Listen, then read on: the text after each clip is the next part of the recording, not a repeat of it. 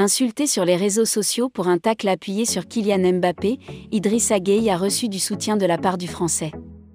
Pour revenir sur les faits, Kylian Mbappé a été touché à l'entraînement après avoir été victime d'un tacle. Mais rien de grave finalement pour l'attaquant international français qui devrait donc tenir sa place lors du choc des huitièmes de finale retour de Ligue des Champions, mercredi, face au Real Madrid.